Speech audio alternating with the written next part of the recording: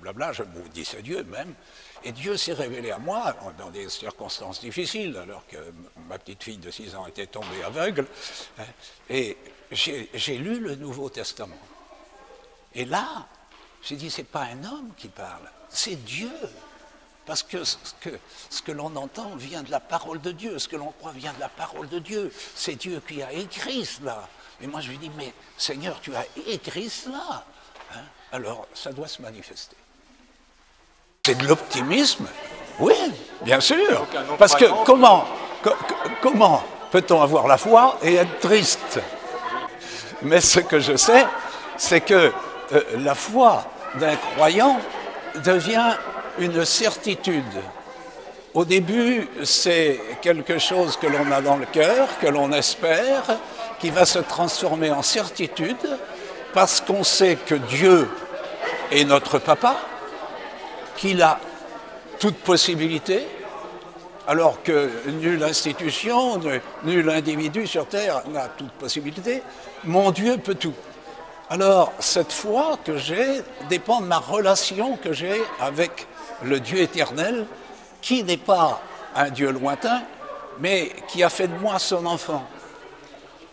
Par Jésus-Christ, mort à la croix, il a pardonné mes péchés, et Jésus m'a révélé le Père et m'a conduit à lui. Donc il y a une relation d'amour, de confiance d'un enfant avec son Père. Quand je lis la parole de Dieu, il est dit que la foi vient de ce qu'on entend de la parole de Dieu. Alors, fondé sur la parole, comme on lit quand les, apôtres avaient quelque chose à faire, euh, l'apôtre Pierre disait Sur ta parole, je vais jeter le filet. Il n'avait rien pris, il avait travaillé, il n'avait rien pris. Il n'y croyait même plus. Et voilà, il jette le filet. Et, ma vie, euh, c'est celle-ci. je demande quelque chose à mon Dieu et j'attends dans la patience qu'il me le donne, parce que je suis certain qu'il va le faire.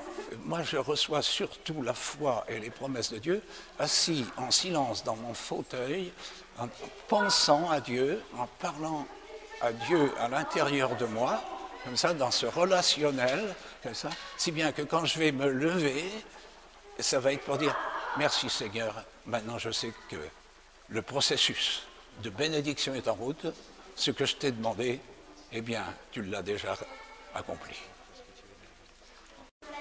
J'ai fait une expérience de guérison il y a peu de temps, comme ça, où euh, les médecins étaient complètement euh, déroutés, je ne savais pas quoi faire, euh, j'ai eu un, AVC, hein. bon, j'ai subi tous les examens, parce que la foi n'empêche pas de prendre des médicaments, elle n'empêche pas de subir des examens, non.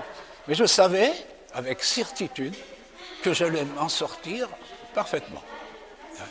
Et c'est ce qui s'est passé, si bien que mon médecin hein, m'a dit, je n'ai jamais vu ça de ma vie. J'ai pu lui dire, mais c'est mon Dieu, je vous l'avais dit, j'en étais certain. Hein. Parce que ce Dieu, ce Dieu d'amour, ne peut me vouloir que du bien.